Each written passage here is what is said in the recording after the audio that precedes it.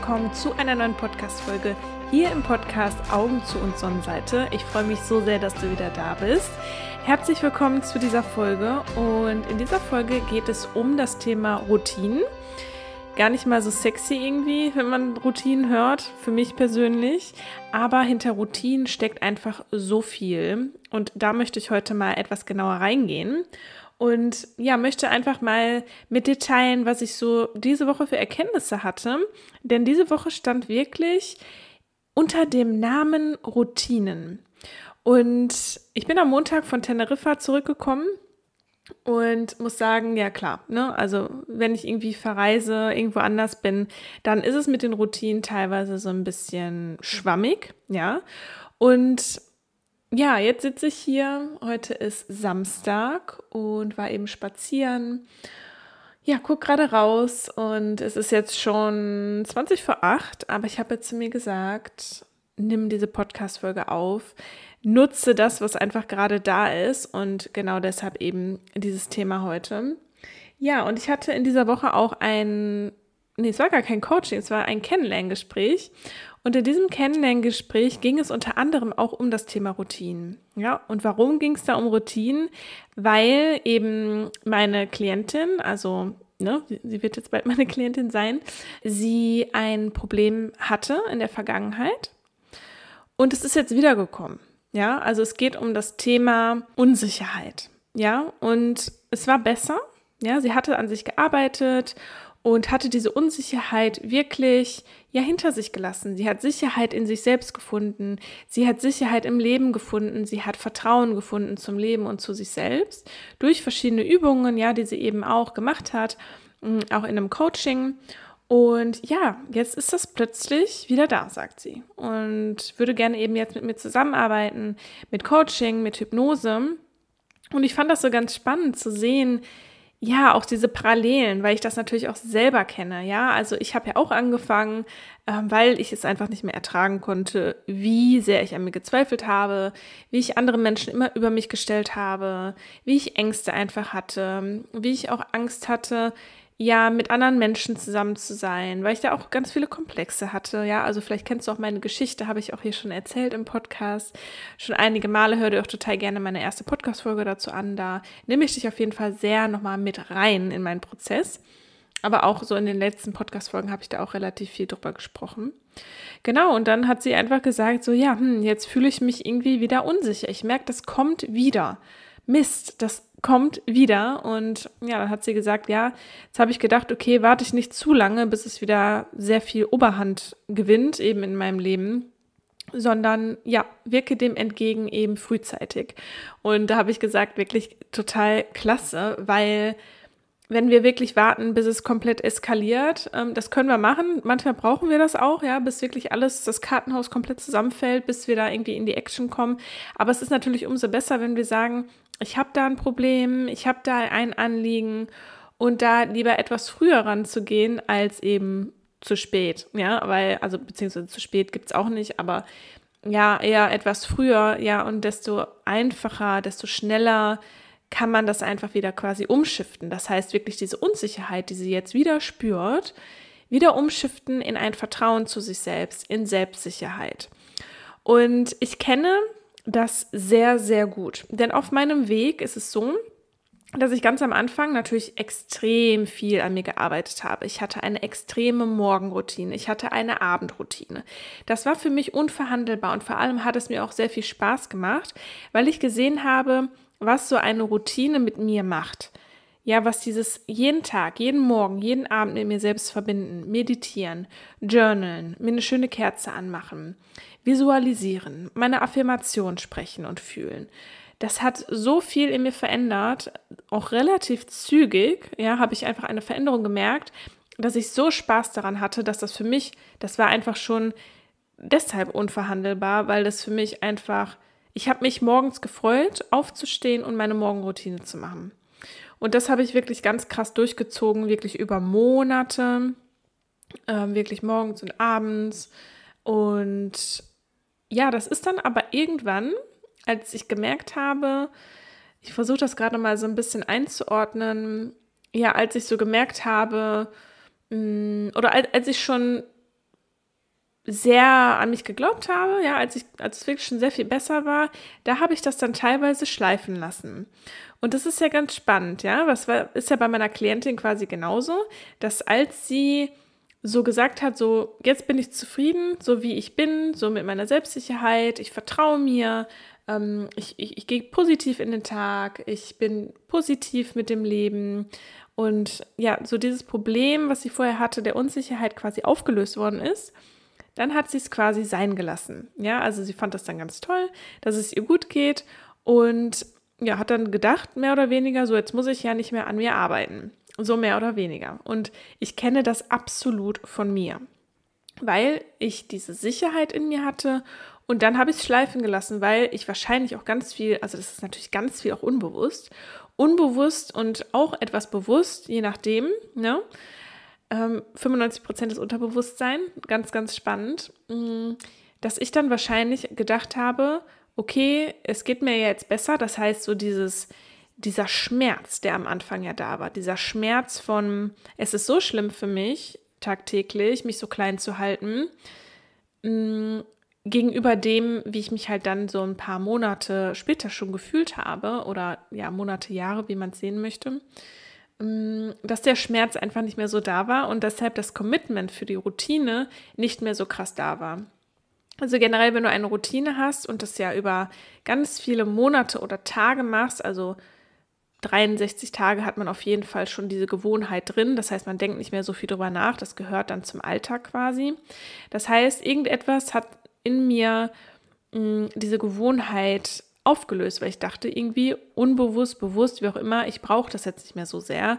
Das heißt, wenn das dann, wenn du dann so anfängst, okay, ja, heute schreibe ich mal nicht in mein Journal. Ja, und dann am nächsten Tag, komm, machst du auch nicht, machst du dann am nächsten Tag, machst du am nächsten Morgen. Da kenne ich also wirklich, das war bei mir nämlich so abends dann müde und dann, ja, komm, schreibst du halt morgen früh. Ja, und morgen früh ist dann irgendwas auf der Arbeit passiert oder äh, ein bisschen später aufgestanden. Ja, und dann hast du das auch wieder nicht gemacht. Und dann bin ich so nach und nach aus dieser Routine rausgegangen. Oder zum Beispiel nicht mehr zu lesen. Ja, ich habe dann auch ganz lange nicht mehr gelesen. Ähm, oder ja, jetzt ganz neu, wenn wir jetzt mal wirklich hier in so ein Hier und Jetzt zurückkommen, dass ich wirklich meine Meditationsroutine sehr auf Eis gelegt habe, muss ich ganz ehrlich sagen. Also ich habe die letzten Wochen wirklich sehr, sehr wenig meditiert. Und Meditation ist ja wirklich das Tool, um dich mit dir selbst zu verbinden. Und Meditation war für mich wirklich eine Sache, die bei mir ganz am Anfang extrem viel verändert hat. Also weil du dich in der Meditation so extrem mit dir selbst verbindest, wie ich finde, das funktioniert mit nichts anderem. Also Meditation und Hypnose, das sind ja so zwei Tools, mit denen du einfach extrem in einen Entspannungszustand kommst, du dich extrem mit dir selbst verbindest und das ist für mich unschlagbar, wenn es darum geht, wirklich deine eigene ja, Einzigartigkeit zu erkennen, dein äh, ja zu erkennen, aber auch einfach in dir zu spüren, dich selbst zu spüren, wirklich in Verbindung mit dir zu gehen und nicht nur irgendwie vom Kopf her, sondern von deiner Seele her, von deinem Herz her. Und genau, also die letzten Wochen habe ich das wirklich extrem schleifen lassen, weil ich halt einfach wirklich dachte, okay, ähm, beziehungsweise ich dachte, ich habe da nicht so viel drüber nachgedacht. Es ist einfach irgendwie so passiert, dass andere Sachen dann einfach wichtiger waren. Ja, wie einfach morgens ins Gym gehen. Ja, ähm, hier das Gym macht um halb acht auf. Ja, dann gehe ich ins Gym. Ähm, und dann komme ich zurück und dann ist halt irgendwie auch schon 9 Uhr oder dann mal halb zehn, dann bis man sich fertig gemacht hat, ne? Und dann ne, starte ich dann sozusagen meinen Arbeitstag, wenn man es so sieht, irgendwie um 10, manchmal dann um halb elf. Und mich dann noch hinzusetzen und zu meditieren, war für mich irgendwie oft dann keine Option. Also das war irgendwie nicht in meinem Feld dann mich hinzusetzen und zu meditieren um halb elf, weil ich dann manchmal auch so einen Druck irgendwie verspürt habe, dass ich jetzt mal langsam anfangen muss, ne? weil es gibt natürlich auch einige To-Dos, wenn man selbstständig ist. Mh, mm, oder in meiner Selbstständigkeit einfach auch dadurch, wenn man auf so vielen Social-Media-Kanälen unterwegs ist und Inhalte kreieren und so weiter, aber da möchte ich gar nicht so viel reingehen. Auf jeden Fall ist dann Meditation sehr in den Hintergrund gerückt und auch Journaling. Ja, ich habe dann auch angefangen, so, ähm, nee, Journaling, Dankbarkeitspraxis, äh, meine Erfolge, also alles, was eigentlich so immer in meiner Routine drin war, das einfach schleifen zu lassen. Und ich habe wirklich gemerkt, dass ich etwas so mh, hm, unausgeglichener geworden bin, dass ich nicht mehr so mit mir verbunden war, dass ich auch öfter mehr gereizt war, dass ich auch nicht so kreativ war, weil ich auch einfach nicht so mit mir verbunden war. Ganz, ganz einfach eigentlich. Und irgendwie mal immer darüber so nachgedacht, so könntest ja mal wieder meditieren und es dann irgendwie doch nicht gemacht, weil ja, ich irgendwie andere Dinge dann darüber gestellt habe, quasi, ja. Und im Endeffekt habe ich andere Dinge über mein eigenes Wohl gestellt, weil ich weiß ja, dass Meditation, Journaling, Erfolgstagebuch, Dankbarkeitspraxis, dass mir das unfassbar gut tut, ja. Ähm, was ich immer gemacht habe, ist auf jeden Fall meine Öle, ja. Aber ja, die anderen Dinge, die anderen Bausteine, die haben einfach gefehlt.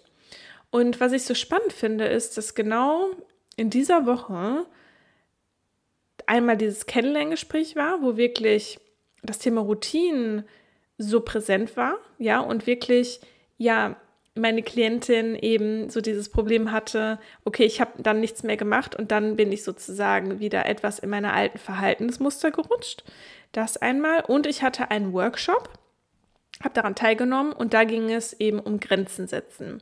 Und zwar Grenzen setzen auch dir selbst gegenüber. Das heißt, Grenzen zu setzen, um sich damit gut zu tun. Ja, eine Grenze, die du dir selbst setzt, kann ja auch zum Beispiel sein, nein, du guckst jetzt morgens nicht in, auf Instagram, sondern du machst deine Meditation. Oder ja, legst generell das Handy morgens weg oder legst das Handy abends weg. So ab 10 Uhr abends oder ab 8 Uhr abends halt kein Handy mehr. Oder du setzt dir selber eine Grenze, ähm, ja, morgens wirklich zu meditieren. Oder ähm, dein Essen zu essen, ohne irgendwie Netflix zu gucken oder ohne YouTube zu gucken oder was auch immer da so bei dir vielleicht sein könnte. Und ich habe jetzt wirklich seit ein paar Tagen jeden Tag wieder meditiert. Ich habe in mein Journal geschrieben und ganz ehrlich, nach ein paar Tagen, ich fühle mich so anders, ich fühle mich so viel besser, ich fühle mich so sehr wieder mit mir verbunden, also so viel mehr wieder mit mir verbunden. Und das möchte ich einfach heute mit dir teilen, dass Routinen so wichtig sind und zwar Routinen, die dich nähren und das kann für dich auch was ganz anderes sein, ja? Also es muss für dich nicht Meditation sein. Schau mal für dich, reflektier vielleicht mal hier für dich, was kann für dich eine Routine sein? Etwas, was du wirklich täglich machst, was dir gut tut. Ganz bewusst zum Beispiel deinen Kakao, deinen Kaffee zu trinken morgens, ähm, ganz bewusst jeden Tag frisch zu kochen zum Beispiel oder jeden Tag einen Spaziergang zu machen, der dir unfassbar gut tut. Jeden Tag ähm, mit deiner Freundin zu telefonieren oder was auch immer das sein sollte. Da kannst du dir zum Beispiel so eine Liste schreiben von Routinen, die dich nähren. Nährende Routinen und deine Liste einfach mal zu machen, ja? Oder dir jeden Tag von dieser Liste irgendwas zu nehmen und das dann zu machen. Kann ich dir wirklich so sehr empfehlen. Und meine Klientin hat eben auch gesagt, dann in dem Kennenlerngespräch, warum muss ich eigentlich immer an mir arbeiten und andere sind einfach so glücklich? Und das fand ich auch nochmal ganz spannend und das würde ich gerne hier nochmal so ein bisschen auseinandernehmen.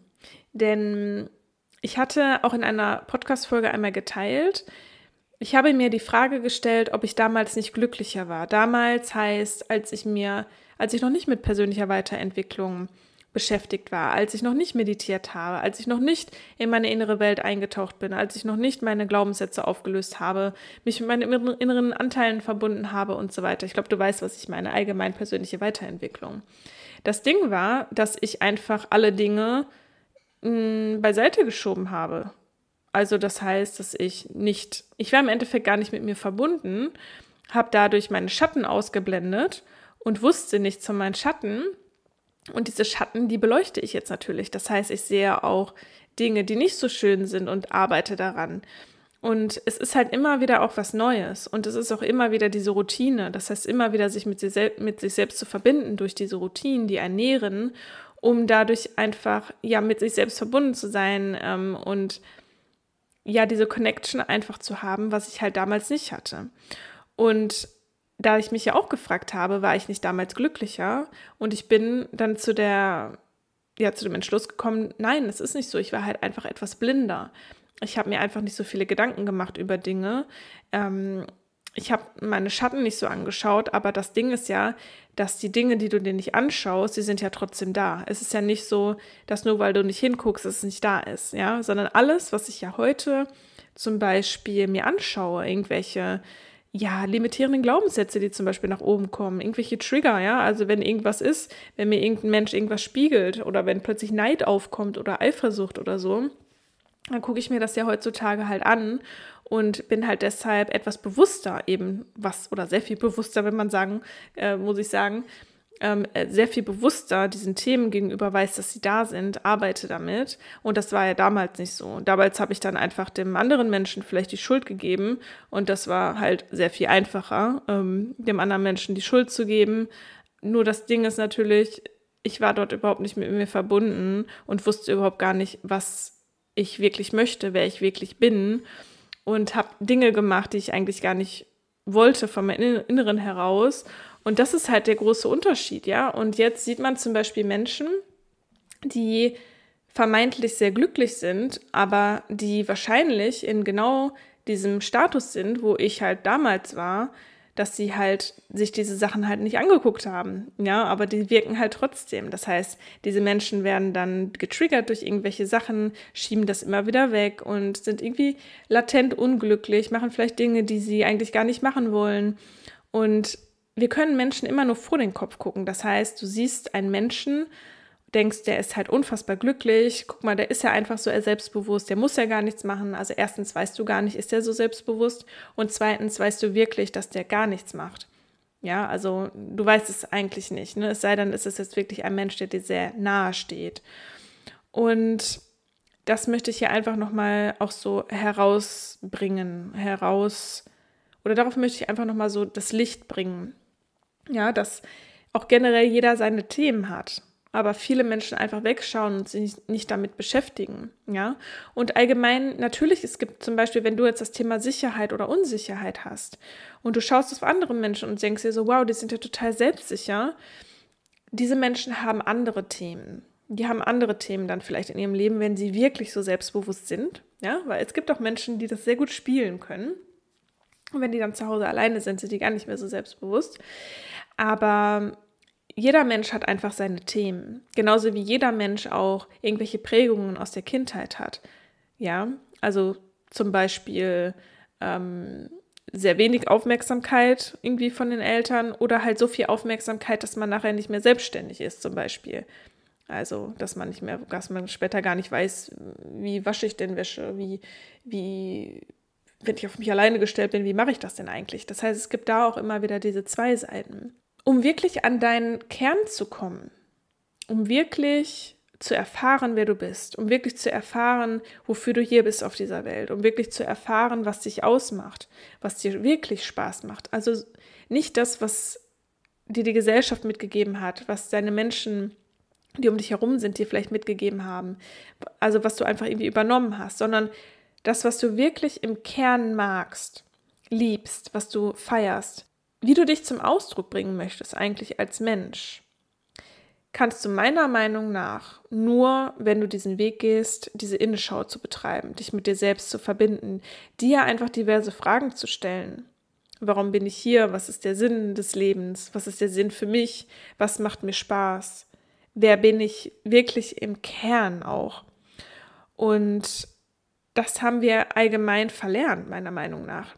Ja, also wir kommen auf die Welt eigentlich als perfektes Wesen, aber alles, was dann passiert, wenn wir dann aufwachsen, ja, ich stelle mir das irgendwie so vor wie so Lebensschichten, die da drauf kommen, die aber ja eigentlich gar nicht wir selbst sind, sondern das ist halt einfach Gesellschaft, das ist einfach Familie, Freunde, Lehrer, alles, was dann da passiert, das sind so Lebensschichten, die auf uns draufkommen. Und da wir ja eigentlich generell jetzt nirgendwo lernen, wie wir uns mit uns selbst beschäftigen, wie wir an unseren Kern kommen, wie wir uns wirklich mit diesem Kern auch verbinden, es sei denn, wir haben wirklich Eltern, die da sehr drin sind, auch so in der Spiritualität und ähm, wirklich auch so in dieser persönlichen Weiterentwicklung, wie sollen wir es wissen? Das heißt, wir dürfen dann erstmal schön die Lebensschichten abmachen, aber die meisten Menschen oder viele Menschen die sind ja vielleicht noch gar nicht an diesem Punkt, diese Lebensschichten abzunehmen. Also ich habe angefangen, diese Lebensschichten abzunehmen vor ein paar Jahren. Und davor waren diese Lebensschichten ja auch da drauf. Und ich dachte, ich bin dieser Mensch. Und ich kann nur dieser Mensch sein und ich kann ja gar nichts anderes. Und ich bin, ich bin halt nicht selbstbewusst. Und ja, ich bin halt irgendwie lost oder was ich da alles gedacht habe. Aber dem, es, es, es war halt einfach nur, es waren diese Lebensschichten. Und die habe ich dann nach und nach wirklich abgelegt oder bin auch durch Meditation zum Beispiel einfach mal an diesen Lebensschichten vorbei in mein Inneres und habe da wirklich gespürt, was abgeht und wer ich wirklich bin und habe realisiert, was meine positiven Eigenschaften sind und was allgemein überhaupt meine Eigenschaften sind, was auch vielleicht Eigenschaften sind, ja, die vielleicht nicht so immer so toll sind. Ja, ich bin zum Beispiel, ich habe ich hab einfach realisiert, Katrin, du bist gar nicht so ordentlich, du bist einfach ein bisschen echt chaotisch. So. Und das war auch etwas so, ich dachte immer echt, ich bin so voll, ich bin eigentlich so voll strukturiert und ähm, ja, ordentlich. Aber ich habe einfach dann auch realisiert, du bist eigentlich echt auch ein bisschen chaotisch, muss ich sagen. Ne? Und ähm, auch diese Dinge sind dann zum Vorschein gekommen, was aber auch dazu gehört, weil ich einfach mich jetzt kenne, ja, also da ist auf jeden Fall noch mit Sicherheit so viel Luft nach oben. Es ist ja wirklich ein Prozess über das ganze Leben, sich selbst kennenzulernen und da kommt immer wieder was Neues und ja, aber es darf halt Spaß machen, ganz wichtig. Aber so wie ich jetzt hier sitze und mit euch spreche, einfach so frei Schnauze, sage ich jetzt mal, das wäre damals zum Beispiel gar nicht möglich gewesen. Und es ist so schön, diese Lehmschichten so nach und nach da mal so reinzugehen, teilweise Schichten auch einfach wegzulegen und ja, da wirklich reinzugehen, um sich selbst wirklich kennenzulernen. Und wenn ich jetzt nochmal so zurückkomme zu dem Thema Routinen, dann ist das einfach so, beziehungsweise was ich auch mit meiner Klientin dann besprochen habe, ist, warum passiert das eigentlich? Um da nochmal vielleicht kurz reinzugehen, warum Routinen einfach auch so wichtig sind. Wenn du 20 Jahre, 25 Jahre, 30 Jahre, 35, 40, was auch immer Jahre, diese Lehmschichten auf dir hast, ja, und dann irgendwann anfängst mit der persönlichen Weiterentwicklung, dich mit dir selbst zu beschäftigen, mal so zu gucken, was ist denn da noch so, und diese Lehmschichten wegtust, ja, die da aber schon jahrelang drauf waren, dann sind die vielleicht erstmal weg oder sehr viele davon weg. Ja, du bist selbstsicher, du vertraust dir selbst, du weißt, wer du bist. Die sind so schwer, um das jetzt mal irgendwie so darzustellen, die sind so schwer, die sind dann irgendwie noch da irgendwo, die sind nicht komplett weg. Und da die halt so genährt sind von diesen Jahren, die du die schon mit dir trägst, wenn du dann nichts mehr machst, gar nichts mehr, kann das sein, weil die so tief sind und so schwer sind, dass diese Lehmschichten sich ganz langsam wieder auf dich draufsetzen, wenn du halt wirklich nichts mehr machst, ja? Also nichts im Sinne von dich nicht mehr mit dir selbst verbindest, äh, dir kein, also wirklich keine Fragen mehr stellst, nicht mehr reflektierst, nicht mehr so, wenn dir irgendwas passiert, ähm, wenn du irgendwie irgendeine Situation hast, wo du merkst, boah, das hat mich jetzt irgendwie voll gestört, so Triggerpunkte auch, wenn du da nicht mehr in die Reflexion gehst. Mm.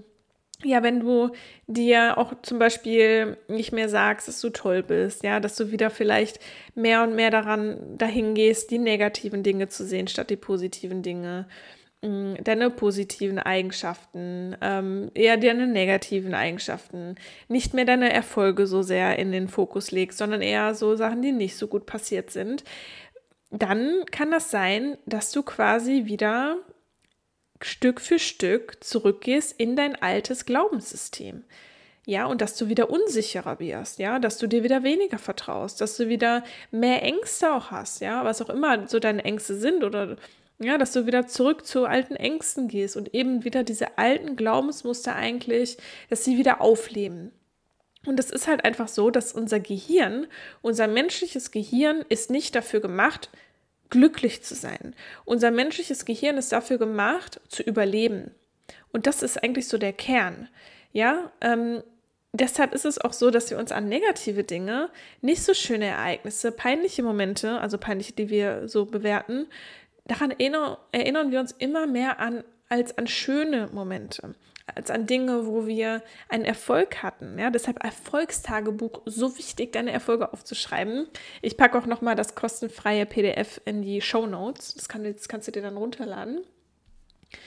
Und so geht das dann peu à peu, ja, dass man seinen Fokus wieder, einfach weil unser Gehirn so gemacht ist, mehr auf den Mangel richtet, auf Mangel, auf negative Dinge, ja, wieder mehr negative Gedanken, ja, wenn man die Affirmation zum Beispiel auch nicht mehr verwendet, ja, also was ja auch positive Gedanken einfach sind.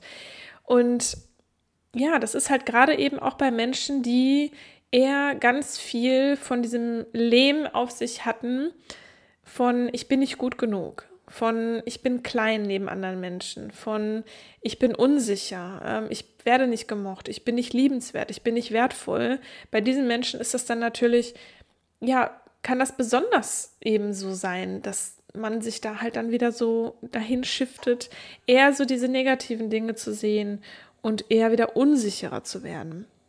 Aber das Schöne ist ja, dass wir da wieder entgegenarbeiten können. Weil ich habe ja, wie gesagt, das auch schon erlebt, dass ich dann wieder etwas unsicherer auch geworden bin, gemerkt habe, irgendwie habe ich mich so ein bisschen selbst verloren.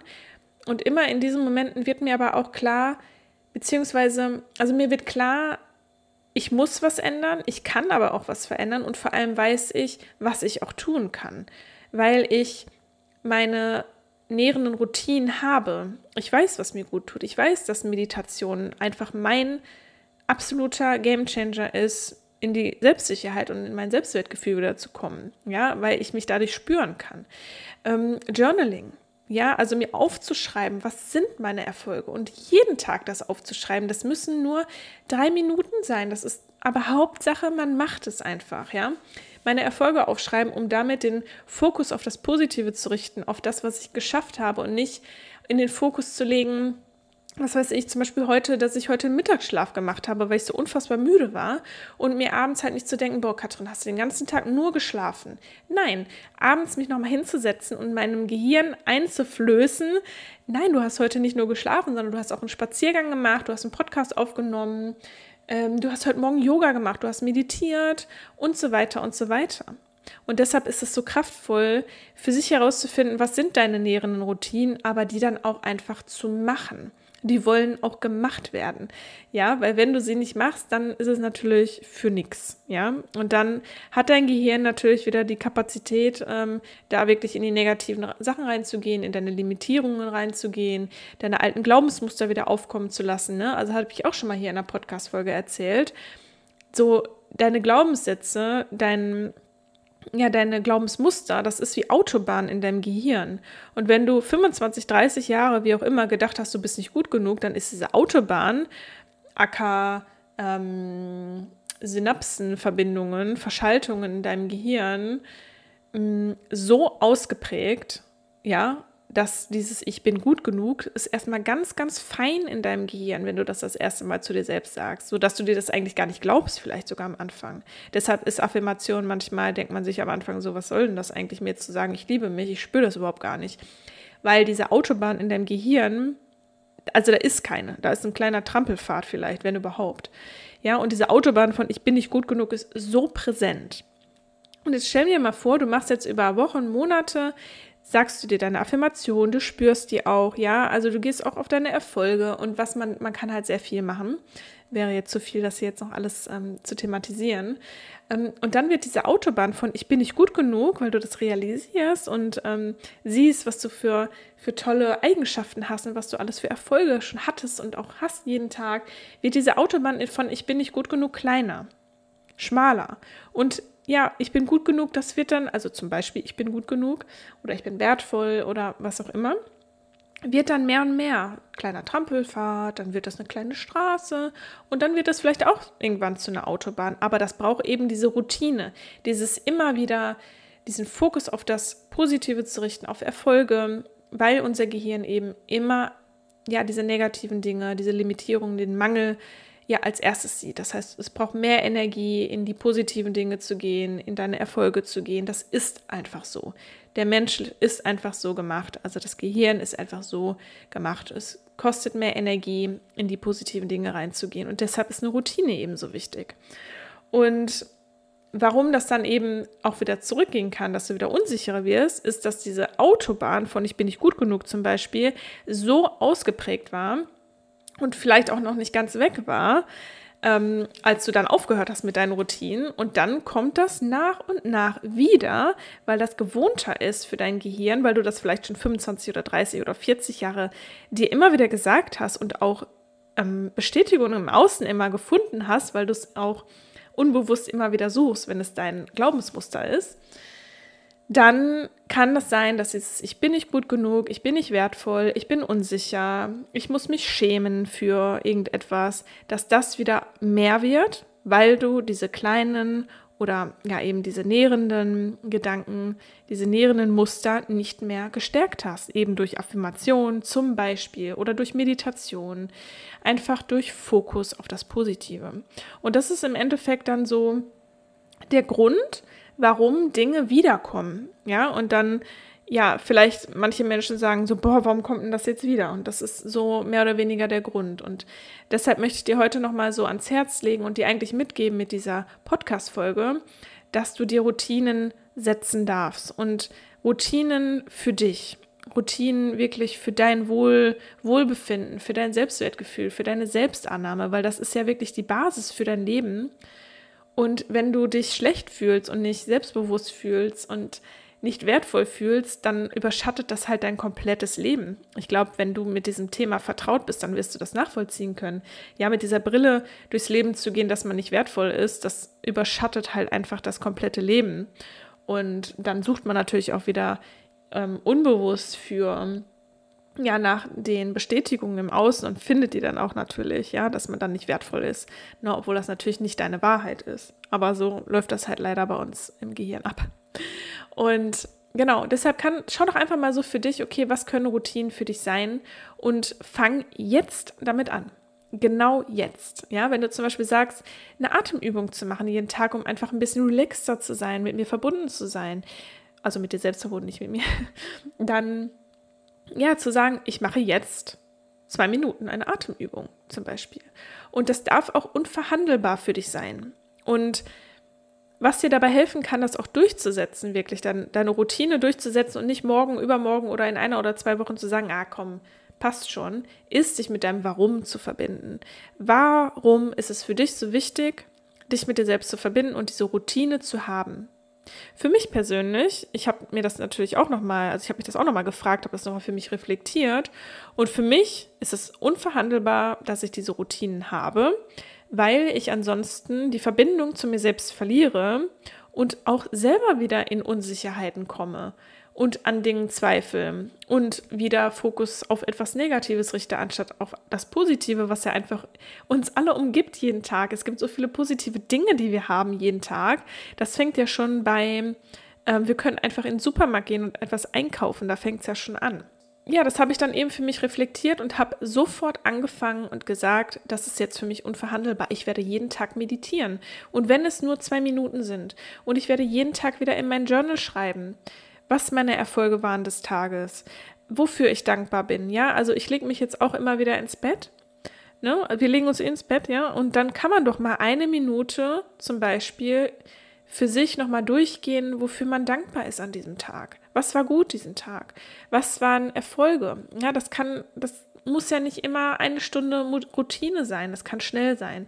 Und natürlich schriftlich ist es dann nochmal umso besser. Aber was ich jetzt immer noch mal mache, ist, dass wenn ich ins Bett gehe, dass ich dann einfach noch mal kurz für mich überlege, wofür ich dankbar bin und diese Dankbarkeit auch in mir spüre. Und das ist so ein anderer Abschluss des Tages, damit ins Bett zu gehen, als mit, boah, hast du wieder nicht deine To-Do-Liste geschafft? Boah, irgendwie hast du heute ein bisschen zu viel wieder äh, ja, Erdnussbutter gegessen oder was auch immer das bei dir ist. Was sind wirklich so Gedanken, die ich hatte, ähm, so in den letzten Wochen. So, boah, wieder die To-Do-Liste nicht geschafft. Äh, boah, äh, Erdnussbutter hättest du auch mal ein bisschen weniger essen können. Das ist übrigens meine Addiction gerade, ja. Also Brot mit Erdnussbutter. Unfassbar gut, ne? Aber man kann auch abends ins Bett gehen und sagen, was war gut? Ich war im Fitnessstudio zum Beispiel oder ich habe heute frisch gekocht oder ich habe dieses eine To-Do von meiner To-Do-Liste geschafft oder ich habe heute für mich entschieden, zum Beispiel, ja, eine Pause zu machen. Ja, oder ja, einfach mal heute es gut sein zu lassen. Das kann auch genauso ein Erfolg sein. Ne? Also ein Erfolg schau, was ist für dich persönlich ein Erfolg. Und ich lege dir da auch wirklich so sehr meinen PDF-Journal ans Herz. Ja, das kann auch einfach für dich nur so eine Inspiration sein, wie du es vielleicht für dich selbst machen möchtest. Du kannst dir auch einfach so ein Journal holen, irgend so ein Buch, ein Notizbuch und da zum Beispiel jeden Tag für dich das reinschreiben, was für dich eben passend ist. Für mich ist genau das passend, was gerade in dem PDF-Journal ist. Was ich noch ganz toll finde, was ich vielleicht noch mal ja ergänzen würde bei meinem nächsten PDF-Journal, ist zum Beispiel diese Frage, worauf freue ich mich heute? Das finde ich nochmal so richtig toll, sich vor Augen zu führen, was ist denn heute Schönes? Also was, was war das Schönes heute auf dich, worauf du dich freust? Das ist nochmal so eine Frage, die ich jetzt so seit ein paar Tagen nochmal so mit reinnehme für mich persönlich, weil sie mich einfach daran erinnern, was einfach Schönes auf mich wartet an diesem Tag und das hebt meine Stimmung einfach so an.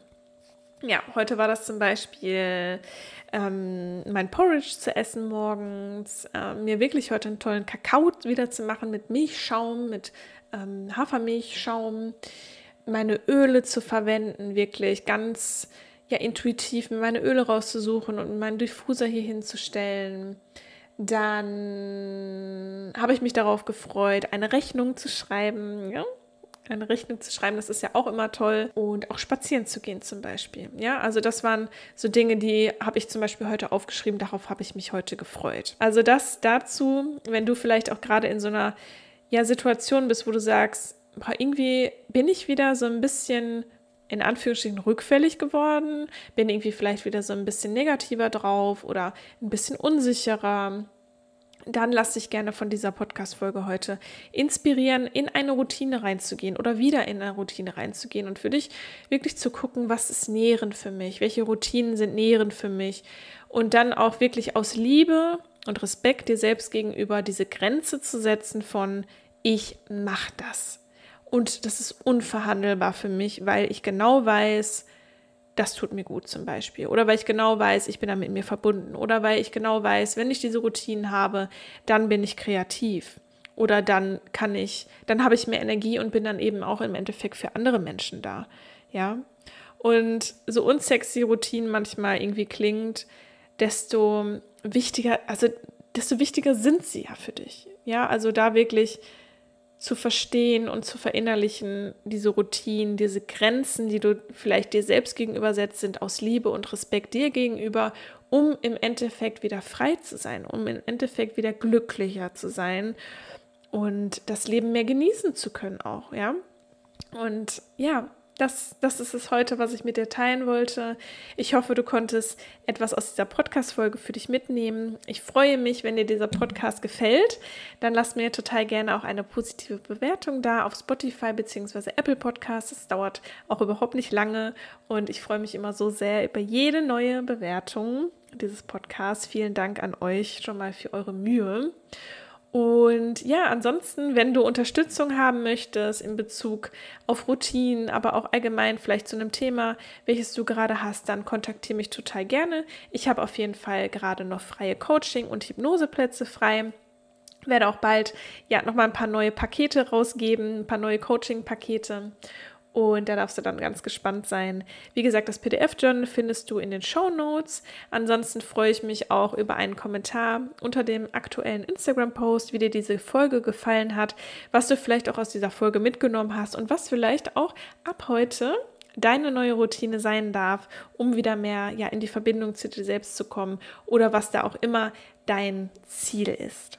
Vielen, vielen Dank fürs Zuhören. Ich freue mich, dich nächste Woche Montag hier wieder im Podcast begrüßen zu dürfen. Und alles Liebe, eine große Umarmung an dich und Bussi Bussi. Hat sie gerade Bussi Bussi gesagt? Hat sie tatsächlich. Frag mich nicht warum. Naja, alles Liebe für dich und wir hören.